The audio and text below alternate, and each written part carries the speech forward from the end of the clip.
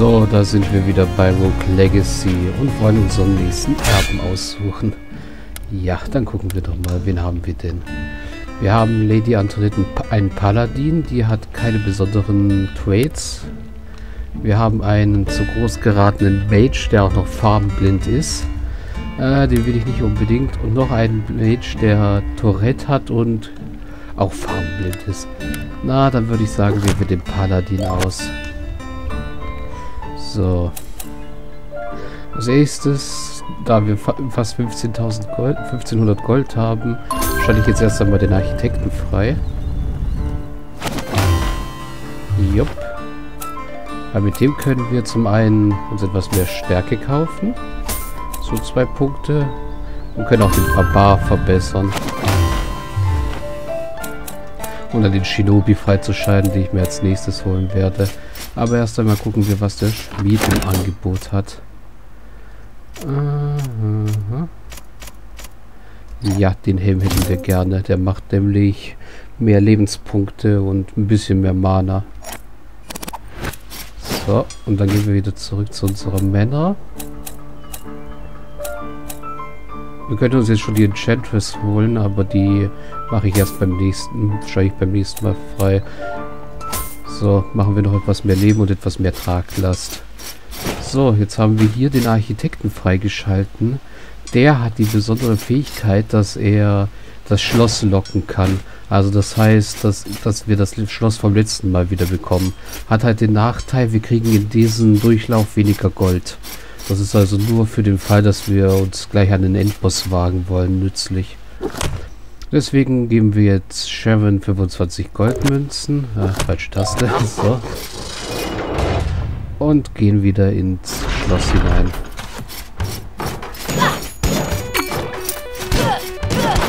Hauen uns hier ein bisschen durch die das Mobiliar.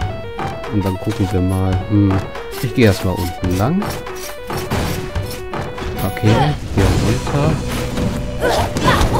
Aua. Lässt du mich in Ruhe?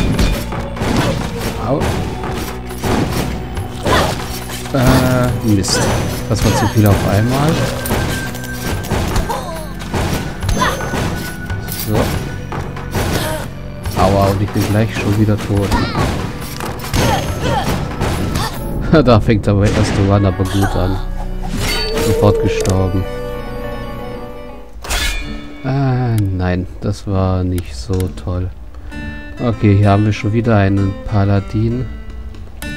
Und zwei Knaves. Hm, nehmen wir mal den hier, weil Seven kenne ich noch nicht, gar nicht. Und ja, mit 50 Gold können wir leider nichts anfangen. Das war jetzt gerade kein besonders guter Run. Wir Sharon das Geld und dann gucken wir mal, was sind wir denn besonders talentiert.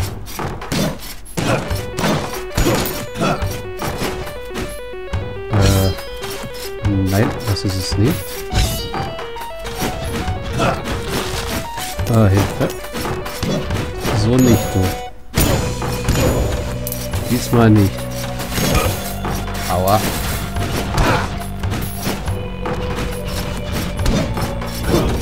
Ah. So. Diese blöden Eismagier und die Skelette, die mit ihren... Hier muss ich lieber springen über die Stacheln. Die erwischen mich ja jedes Mal. Gucken wir mal äh, hier hoch. Nein. Zu dem will ich nicht unbedingt. Na, gucken wir mal lieber hier hoch. Äh, hier gibt es nichts. Gehen wir mal hier hin. Ah, no fighting ist nicht so toll. Ich brauche Hühnchen. Ganz dringend Hühnchen. Ihr sterbt mal. Ist ein böses Bild? Nein, bist du nicht. Aber ihr seid böse Zombies. Ah, Hühnchen. Und ja, das Hühnchen gibt immer 10% der Lebenspunkte wieder zurück. So. Einfach mal versuchen, nicht zu sterben. und Gold zu kriegen. So. Du kannst ruhig sterben, du Skelett. Nicht von diesen Rotkohl-ähnlichen... Jetzt sage ich auch schon Rotkohl dazu. Äh, von diesen Stachelkugeln töten lassen. Und ja, der Navy ist echt keine so tolle Klasse.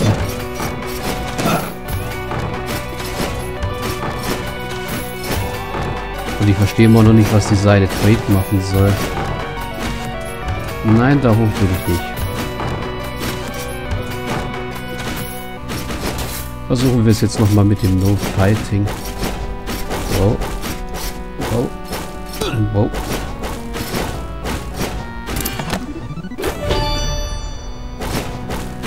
Aua. Aber wir haben eine Rune freigeschalten und etwas Geld gemacht. Sehr gut. Nächster Erbe. Paladin mit äh, Kurzsichtigkeit. Doch ein Paladin, der ein Zwerg ist. Und das letzte ist ein Mage. Na, nehmen wir lieber den Paladin, der ein Zwerg ist. Das kommt immer praktisch so. Und jetzt könnten wir die Enchantress mal freischalten. Weil die kann auch nette Sachen. Das zeige ich euch gleich. Wenn wir das nächste Mal mehr Gold haben, zeige ich sie euch mal. Aber jetzt gehen wir erst einmal wieder Sharon 70 Gold geben. Und den nächsten Durchlauf. So. Und mit dem Paladin geht das Ganze... Aua ich wollte gerade sagen, etwas einfacher von der Hand. Aber dann kommt dieser blöde Ritter und überzeugt uns vom Gegenteil. Dafür können wir aber mit dem Paladin wenigstens die Doombas one-hitten. Edge nicht getroffen. Du triffst mich auch nicht. Das ist der Vorteil, wenn man ein Zwerg ist. Da ist mal hier. Kronleuchter kaputt hauen. Wir haben ja nichts Besseres zu tun, als den Schlossherrn des Mobiliars zu zertreffern. So. Äh, runter will ich. Das war auch ein Doomwas. Boah.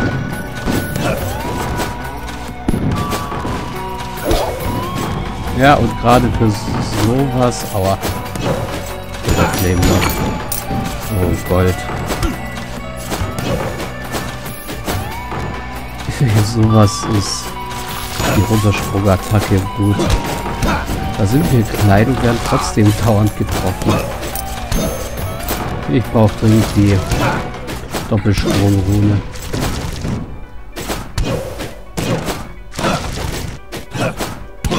So, Auge weg. Die gemeinen Viecher können nämlich durch Wände schießen. Und hier halten die Flame schon wieder etwas mehr aus weil sie halt ein höheres Level haben. Du bist kein böses Brot. Du warst Ice Mage. Zombie. So, du zauberst nicht. Äh, jetzt gehen wir mal nach oben hier.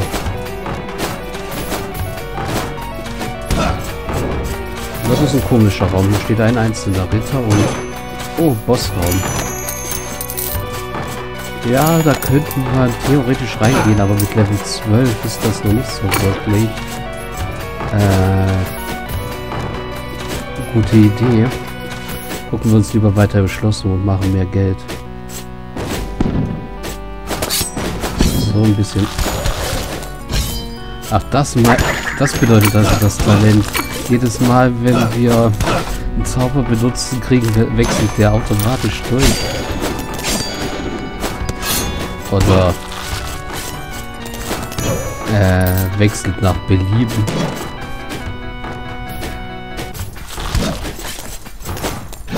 Hier sind die Frostmagier schon Level 11. Wow. Das war gemein. Also ja, der Mann war jetzt wieder etwas besser, aber doch nicht so das Wahre. Okay, was haben wir hier? Magier mag ich nicht so besonders. Der Knave hat keine Nachteile. Oder Fähigkeiten. Und der hier kann ich richtig zaubern. Oh ja, das kann ich euch mal zeigen. Und er hat PAD, das heißt, er löst keine Stachelfallen aus. So, jetzt tue ich erstmal... Nein, bevor ich irgendwas hier mache, gehe ich erst einmal zur Hellseherin. So, zur Verzauberin. Die sagt uns jetzt, ja, wir können Runen finden und mit diesen Runen unsere Ausrüstungsgegenstände verzaubern. Und die erste Rune, die ich gerne hätte, wäre die Vault-Rune für den Helm. So. Jetzt können wir nämlich einen Doppelsprung machen. Und ja, das mit dem er kann nicht richtig zaubern bedeutet, die Zauber kommen aus unserem Hinterteil raus. Also wir schießen rückwärts. So. Mit dem Geld, was ich jetzt noch über habe, möchte ich den Shinobi freischalten. Eine meiner Lieblingsklassen. Der hat, kann zwar keine Quits machen, aber er tut ziemlich stark zu, zuschlagen. So, können wir noch in irgendwas Gold reinpumpen? Ja, machen wir mal Mana-Upgrade. Schaden kann es ja nicht. Dann kriegt Sharon halt nicht so viel Geld. So. Nächster Durchlauf durch. Chicken brauchen wir jetzt eigentlich gar nicht, aber ich sammle es trotzdem mal ein. Die können wir noch one-hitten. Und ja, wir haben keinen Fußpuls. Das heißt, wir lösen die diese Fallen nicht aus. So. Was praktisch ist. Aua, aber dann trotzdem können wir immer noch von Skelettknochen getroffen werden. Woher die Skelette die stähligen Knochen herkriegen? Wow. Das war knapp. Und ja, jetzt beherrschen wir den Doppelsprung. Das heißt, wir haben jetzt einen kleinen Vorteil mehr. Sieht man auch da unten links eingeblendet, welche Runen wir bereits ausgewählt haben. Hier ist eine Truhe und da ist die Squire Chestplate drin, das ist die Knappenrüstung. Die könnte nützlich sein, weil wir haben noch keine bessere Brustrüstung. Und gerade hier in so einem Raum ist der Doppelsprung doch ganz nützlich. Okay, der Raum hier ist etwas äh, seltsam. Aua, naja. Gut. Das Bild ist tot und jetzt noch das Skelett und dann holen wir das Bild ja auch noch. Die haben noch nicht so wirklich was auf dem Kasten. Hier könnten vielleicht stärkere Gegner kommen. Oh ja, mit denen wird's lustig. Wow, dass mich das nicht getroffen hat. Aua.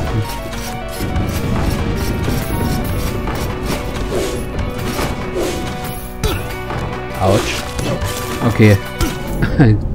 Mist, da wollte ich gerade abhauen. Macht nichts. Nächsten. Vielleicht kriegen wir ja jetzt schon einen Shinobi. Nein, ein Knave, noch ein Knave und eine Barbarian Queen. Oh ja, die hat äh, OCD, also immer wenn sie was kaputt haut, kriegt sie Mana. Die können wir ja mal benutzen. Und für das Gold, was wir haben, mehr Lebenspunkte. Oder werden uns die Brustplatte kaufen können. Was bringt die eigentlich? Neun mehr Armor hätte die gebracht. Naja, gut. Jetzt haben wir halt ein paar mehr Lebenspunkte. Und mit dem Barbar dürften wir auch einen ziemlich guten Run hinlegen. Weil der ja halt mehr aushält als die anderen Klassen. Und ja. Für jedes Zeug, was wir zerschlagen, kriegen wir jetzt Mana. Und den da drücken wir auf die Weise, das ist mir lieber. Nein, ich will runter. So.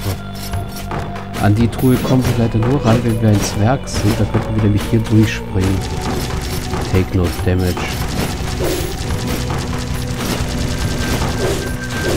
Wow, Mist.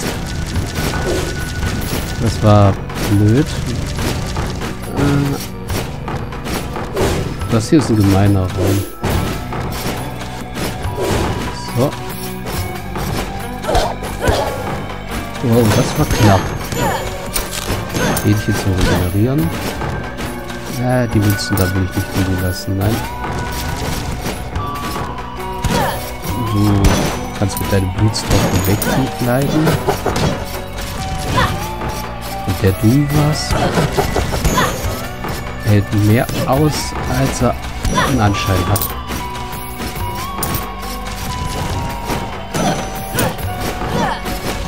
Das Bild ist in Ordnung, aber das Auge ist böse, deswegen kommt das Auge weg.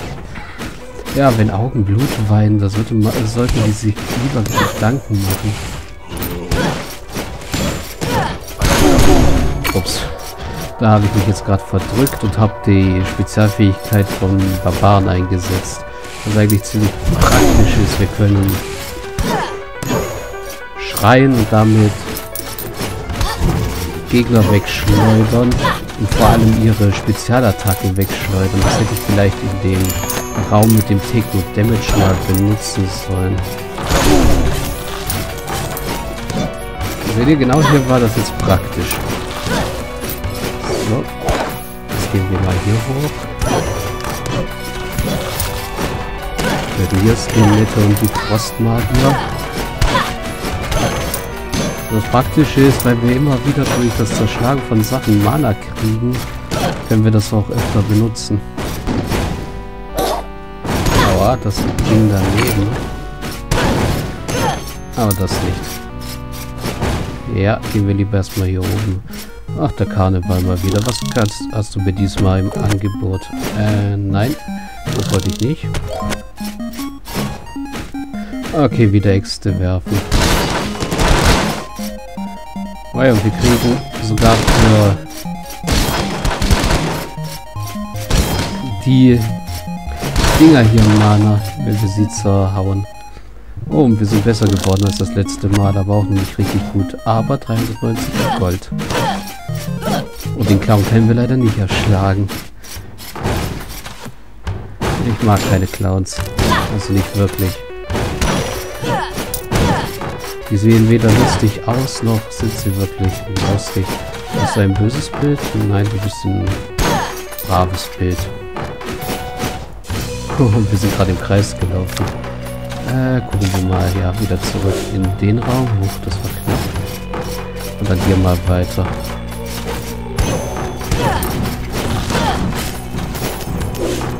So, Flame Logs mit Feuer sollte man nicht spielen.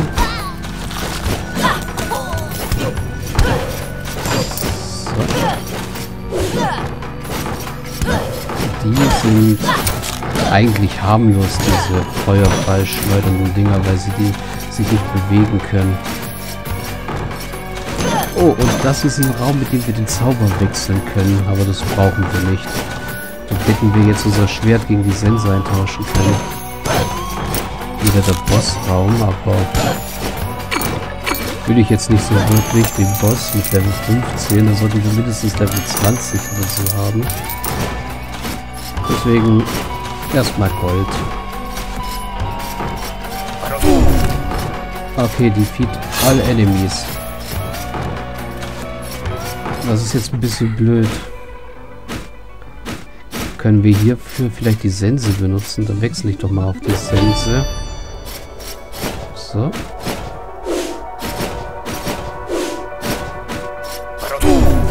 Nein, das war falsch und jetzt habe ich nicht mehr genug Mana. Ja, euch kann ich hauen. Bringt mir leider nur nicht viel, aber das Gold hier bringt mir was. Oh, schon 1600 Gold. Das wird diesmal wirklich ein guter Run. Ah. Mana und jetzt können wir die Sense mal verwenden. Mal sehen, ob wir damit den das Skelett da unten kriegen. Und ich habe schon wieder den Schrei benutzt. Ah, ich verwechsel manchmal noch die Knöpfe. Das ist ärgerlich. Also haben wir keine großartig andere Wahl. Gehen wir hier unten entlang. Ah, hier ist schon wieder Chicken und äh, Mana und wir sind im Wald gelandet. In dem Wald bin ich noch nicht so wirklich. Obwohl die Gegner hier gehen eigentlich.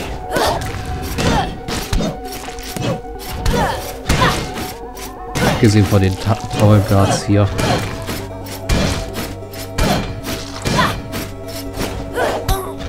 Aua. So, Tower Guard tot und jetzt den Schleim töten.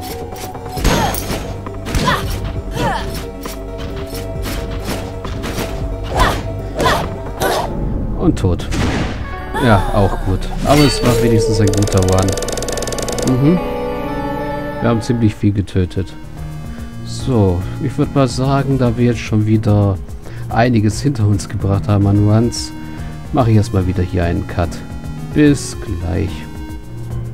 Oh, was ich noch, noch nicht gesagt habe, wie ich es mir jetzt überlegt habe mit den Rogue Legacy Videos. Ich mache einfach mal so nach Lust und Laune Runs, nehme die auf und lade sie hoch. Das kann also mal sein, kann öfter passieren, dass mal Folgen kommen. Jedenfalls solange bis Twine 2, solange Twine 2 läuft. Vielleicht kommt noch mal statt Twine eine, ein paar Folgen mehr Rogue Legacy. Das werde ich schon sehen, wie ich Lust und Laune habe. Also dann, bis zum nächsten Mal.